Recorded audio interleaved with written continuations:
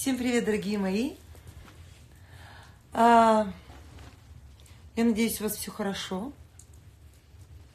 Так, немножечко сейчас подсоберем аудиторию и начнем наш Катрусинкин зал. Я бы хотела, чтобы ты мне это сделал на телефоне. Это сильно светит мне в лицо, и мне Ты можешь не себе хорошо. какой-то за... А, все равно большая. Мне надо маленький экран, пожалуйста. Мгм. Сейчас Машечка мне поможет. Пока мы собираем аудиторию, я немножко раньше сегодня вышла. Очень много Я я... в айпаде буду сидеть. Хорошо, иди сюда. Нет, ну что ты будешь сидеть в айпаде? А как мы будем сказку читать? Ну Э, Вторая серия продолжается. Ну какая еще вторая? Ну а какая? Не вторая Третья серия. тысячная, третья. Значит, дорогие мои, вчера немножечко я получила очень много э, сообщений от вас по поводу того, что я не умею общаться со своими дочерьми. А вот и ум.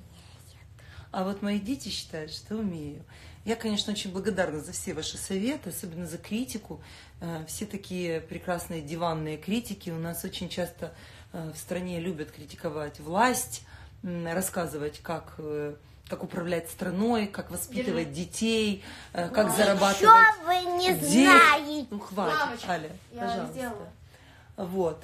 Э, Я мне очень, конечно... А и сделай еще здесь, пожалуйста, меньше. Я очень ценю ваши советы. Я на самом деле всегда прис- прислушиваюсь к советам, когда они конструктивны. Э, Аля, пожалуйста, или туда, или сюда. Не, не дергай. Э, Да, меня не слушаются дети, а они никого не слушаются. Я не знаю, у кого есть дети, которые слушаются. Ну, у меня вот такие вот. И вы знаете, других у меня тоже не будет. Я вчера сказала фразу о том, что им придется мириться с той матерью, которая у них есть. Но другие, но друг, и потому что другой у нее не будет матери. У них не будет другой матери. Точно так же, как у меня не будет других детей. Нет, возможно, у меня родится еще кто-нибудь, и он будет очень послушный, но я в этом Спасибо. глубоко, глубоко сомневаюсь. Почему ты не даешь? Потому что она сейчас будет сидеть и тебя не слушать. Я тебя очень прошу, отдай ей iPad. Надо Значит, его смотрите, мои дети э, совершенно addicted от э, гаджетов. Они в наркомании полной, особенно Какой старшая. наркомании? Почему? Особенно старшая, младшая нет. Младшая нет, младшая вот пошла, спокойно легла в кроватку. Старшая, да. И сегодня это прям какой-то страшный бич детский. Они все хотят сидеть в телефоне, они все устраивают скандалы по этому поводу. И тем не менее, нам нужно как-то с этим бороться. И вы знаете, только терпением и любовью, мне кажется, и тем, что вы хотите проводить с ними время. Потому что Дети это делают в основном от скуки, когда на них не обращают внимания дома, когда родителям легче дать гаджет в руки, чтобы ребенок закрыл. Делаю тоже часто. И я, мы все не идеальны. Э, Я тоже даю, э, знаете, я называю гаджеты пульт от ребенка. Если ты хочешь сделать тише, э, дай iPad или iPhone, и ребенок заткнется и оставит тебя в покое. Но если вы все-таки хотите наладить контакт с детьми, проводите с ними время, придумывайте настольные игры. И самое простое, что мы можем делать, это, конечно же, с ними читать. Э, Сегодня такое огромное количество литературы. Э, Есть и сказки, есть и рассказы, есть и романы. И сегодня я приготовила вам особенное совершенно произведение, потому что я его читаю своей дочери младшей уже, наверное, обожает просто. Ты можешь намочить мне холодную полотенечко, потому что я только что разжигала камин и обожгла палец. Видите, у меня страшный ожог и болит ужасно. Я вас я немножечко сделаю вам лайфхак, э, как избавиться от вот этого ужасного жжения после того, как вы обожглись. Нужно либо засунуть э, руку или палец в холодную воду, в стакан прямо, и вот пока не отпустит, держать его там, либо прикладывать холодное, мокрое и холодное. Так я избавляюсь от боли. Господи, хоть что-нибудь дай, в стакане дай воды. Давай без разговоров. Послать зачем-то детей тоже очень тяжело. Но что же делать? Нам нужно...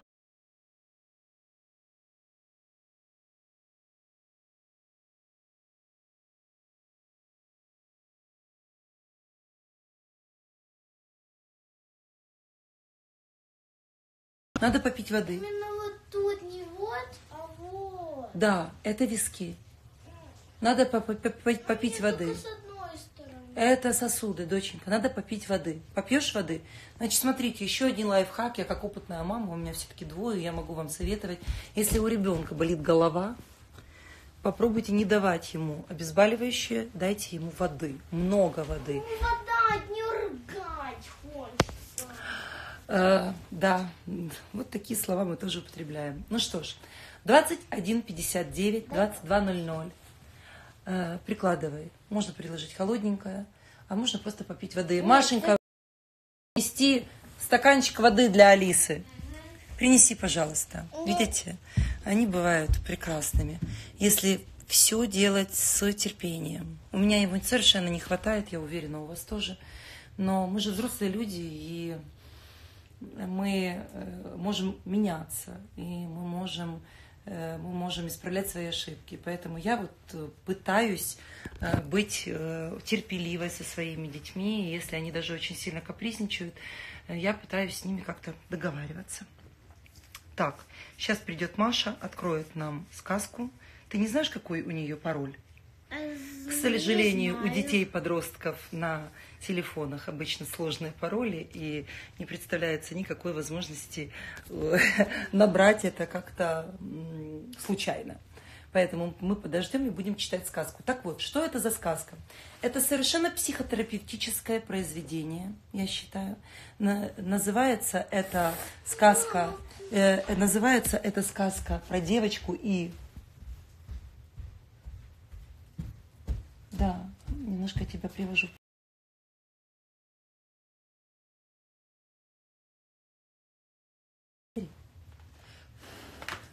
И мне еще стаканчики дай, я туда палец засуну. Просто вот здесь, вот отсюда. Э, Пей, пей, пей. Надо пить много воды. Итак, дорогие мои, 22.01.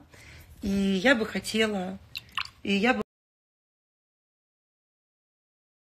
рассказ, который я буду для вас читать. Боже, у меня вылез волдырь. А тут стаканчиков нет. Это совершенно психотерапевтическое произведение. Я своему ребенку прочитала уже пять раз, и она тоже воспринимает это как психотерапию. Э, Я советую сегодня послушать эту сказку всем. Маш, открой, пожалуйста, свой телефон. И взрослым, и детям. Потому что детям она будет интересна как история, более взрослым детям она будет понятна. Лёда добавить? Нет. А взрослым она произведет невероятный эффект, как произвела когда-то впечатление на меня. Итак, ты откроешь мне или нет? Секунда. Рассказ называется прекрасно про Ну девочку и жабу. Итак, взрослые девочки, приготовьтесь, пожалуйста, и послушайте сегодня, не уходите. Маленькие девочки и мальчики тоже послушайте, потому что это просто интересный рассказ. Итак, Можете дать селфи палку? по, забирай. По залитому солнцем лугу бегала девочка. На ней было белое кружевное платьице, на кудряшках были розовые бантики, а в руках она держала сачок, чтобы ловить бабочек. Ты закрываешь мне огонь, дочка, отойди. Жестоко по отношению ко мне. Ну я же за картинку. Итак, в руках она держала сачок, эта девочка. Ей было весело и хорошо. И тут на большом зеленом листе лопуха она увидела огромную жабу, покрытую бородавками. Какая мерзкая жаба, с отвращением сказала девочка. «Кхе-кхе», прокашлялась жаба. Ты в курсе, что я принц заколдованный? Да не может быть, недоверчиво сказала девочка. Правда, правда, подтвердила жаба. Злая ведьма заколдовала меня и мое огромное королевство. У меня сейчас сдохнет телефон, дай мне зарядку. Я молод, прекрасен и богат. И если ты расколдуешь меня, я возьму тебя в жены, и мы будем жить долго и счастливо. Я буду носить тебя на руках и каждый день дарить тебе цветы. А как тебя расколдовать? спросила девочка. Это непросто, ведь злая ведьма наложила сложное заклятие. Ты должна взять меня домой, чтобы я спал в твоей мягкой постельке. И целовать меня каждый день, кормить с ложечки и выносить погулять. И тогда все случится. Девочки, вы мешаете мне. Однажды утром ты увидишь рядом не мерзкую жабу, а красивого принца. А жизнь твоя станет счастливой и безмятежной. Девочка зачарованно слушала жабу. Она смотрела на кожу, подкрытую бородавками, на огромные, на выкате глаза и узкую щель рта, а видела высокого и статного мужчину с копной черных волос и лукавым прищуром зеленых глаз. Рядом с ним она видела себя в пышном белом платье, в красивом замке и слышала слова любви. Преодолев отвращение, она опустилась на колени и посадила жабу в подол платья и унесла к себе домой. С того дня жизнь девочки совершенно кардинально изменилась. Она больше не бегала на солнечном лугу за бабочками и не пела веселые песенки. Она ухаживала за жабой. Жаба оказалась очень капризной. Она требовала круассанов на завтрак и спагетти с соусом бешамель на ужин. Она хотела спать в постельке девочки. А ужин она хотела, а еще она оставляла слизкие следы на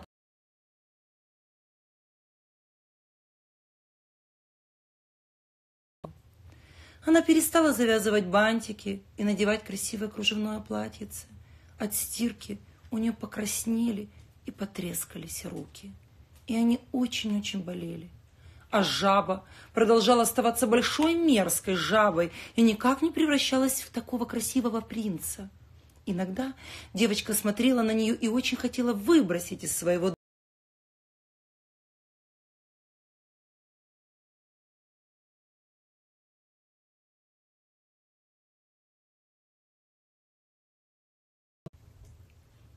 А вдруг она завтра проснется и увидит рядом не мерзкое земноводное, а зеленоглазого брюнета. А вдруг осталось совсем немного? Она боялась ошибиться. Так прошло несколько месяцев. Мало кто узнал бы в этом замученной заморашке некогда веселую и беззаботную девочку. Теперь всем распоряжалась жаба, а девочка только обслуживала ее и делала грязную работу по дому. Однажды жаба накричала на нее за то, что она слишком долго несла ей обед. Девочка вышла из домика и заплакала. Она сидела на крылечке, и ее увидела птичка, что пела на веточке. «Почему ты плачешь?» – спросила ее птичка. «В моем доме живет мерзкая жаба, которая кричит на меня. Целый день я мою, убираю и готовлю ей есть. Я не могу так больше. А чей это дом? Спросила птичка.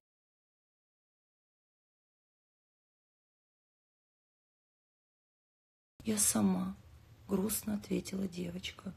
Зачем? Удивилась птичка. Она обещала мне, что превратится в принца, если я буду ухаживать за ней. Но прошло уже много месяцев, а ничего не изменилось. Почему бы тебе тогда не выбросить жабу из дому? А вдруг это правда? И уже скоро она превратится в принца, и я не дождусь совсем немного. Я так много сил потратила уже. Будет обидно, что я не дождалась совсем чуть-чуть.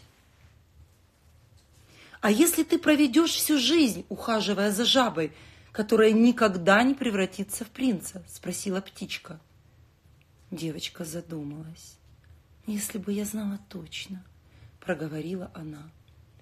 Тут девочка подняла голову, и ее глаза просияли. А не сходить ли мне к старой ведьме, что живет за лесом? Она старая и мудра. Может, она скажет мне, станет ли жаба принцем или нет? Девочка обрадовалась и немедленно пошла к ведьме. Старая ведьма жила за лесом, в покосившейся избушке. «Мне бы узнать», — рассказала ей замуж за принца. Ведьма взяла куриные потроха, глаза летучих мышей и болотную траву и стала гадать. Она трясла седой головой и смотрела в свой горшочек, на котором под, над которым поднимался густой вонючий пар.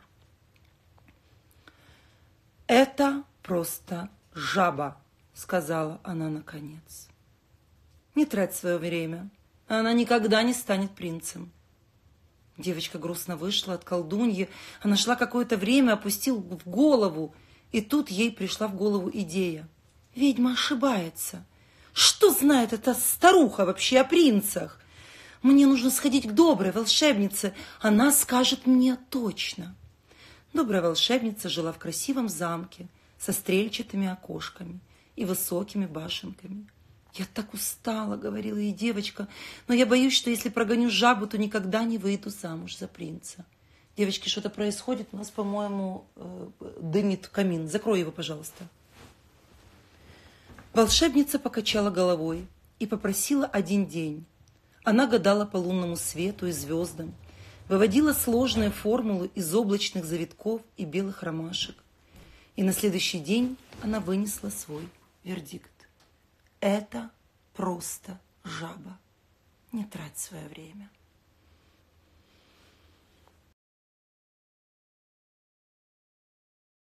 И лучше отнести ее обратно на луг. Девочка молча выслушала волшебницу и ушла. Но внутри она кипела от возмущения. «Да они все мне завидуют!» Воскликнула она, выйдя на улицу. «Конечно, всем хочется выйти замуж за принца!» Я лучше их знаю. Я же чувствую, что делаю все это не напрасно. Еще чуть-чуть, и жаба превратится в принца, и я буду счастлива. И девочка вернулась к жабе. Она выслушала много неприятных слов за то, что ушла надолго и не кормила жабу. Это время. Отмыла дом от слизи, приготовила обед, искупала жабу. Жаба была довольна. Большая, буро-зеленая, в бородавках, она лежала на кружевной подушечке в кроватке девочки – Сама девочка не могла спать жабой, уже давно уступила ей свое место. Она спала на узкой кушетке на кухне.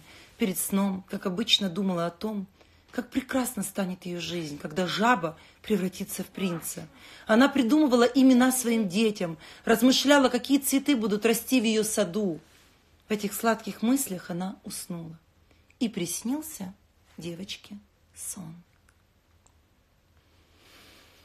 Вдруг идет она по тропинке к своему домику и видит, что весь он обветшал, обвалился, окна пыльные, темные, на крылечке у домика сидит старуха. Страшно лохматая, похожая на лесную ведьму. И вот старуха смотрит на нее и манит ее к себе крючковатым пальцем. А девочка и хочет убежать, да ноги ее не слушаются. Подходит она к старухе, а та смотрит на нее своими блеклыми, выцвевшими глазами, спрашивает. «Узнаешь меня?» «Нет», — отвечает ей девочка с испугом, — «я никогда не видела тебя прежде». «Хе-хе-хе», — кашляет старуха.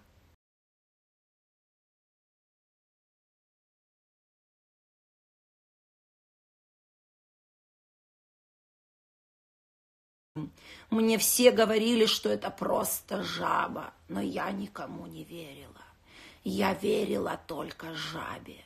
Я очень хотела выйти замуж за принца. Я очень боялась, если прогоню жабу, то этого никогда не случится. Так прошло много лет.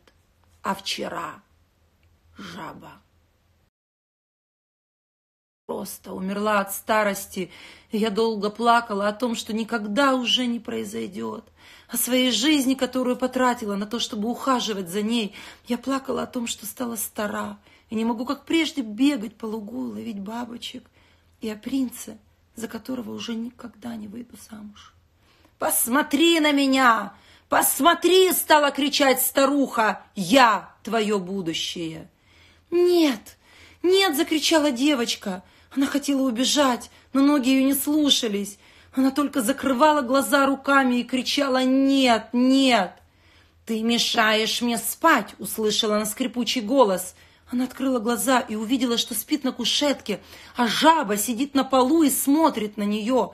«Отнеси меня в кроватку и веди себя тихо!» — велела жаба.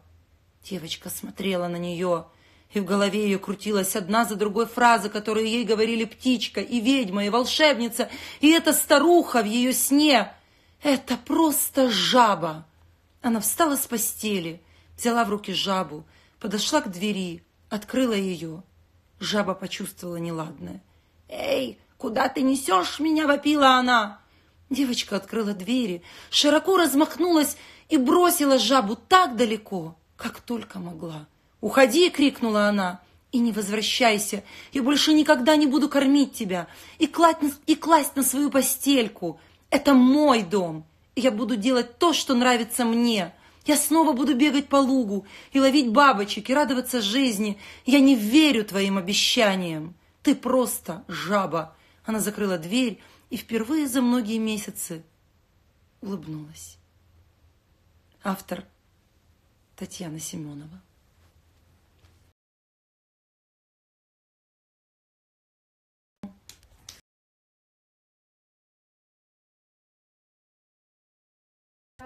Иди расскажи, про что сказка. Потому что очень часто мы ждем от своих партнеров, что они изменятся.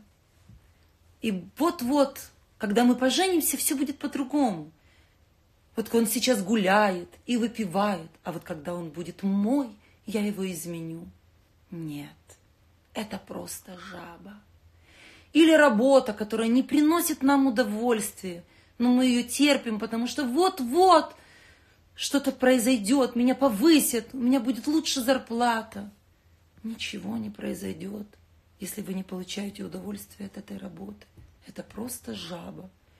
И жизнь, которая вас не удовлетворяет, ну вот вон она как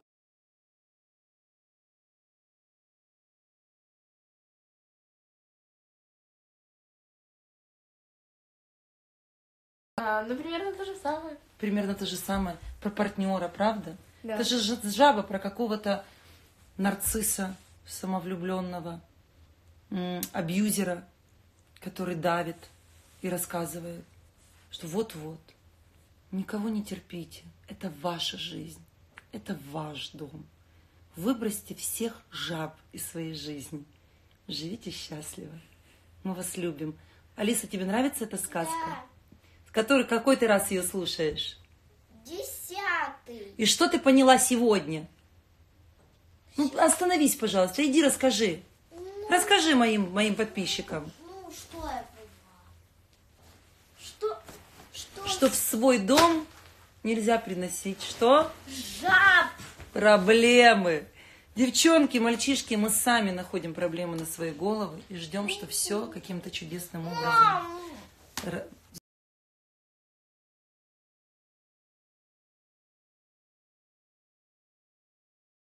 Жаба, все! Так, девчонки, ну пожалуйста, ну не ругайтесь.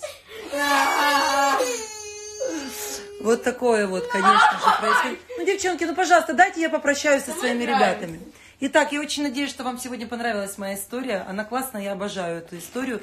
Э, Очень надеюсь, что завтра мне удастся, придет в голову вам найти такую же интересную историю. Вам будет интересно как взрослым, так и детям. Люблю вас, целую. Буду класть своих. Бо в хате бедлам, просто бедлам. Хотя, вы знаете, я пробыла в эфире всего 20 минут. Это очень мало.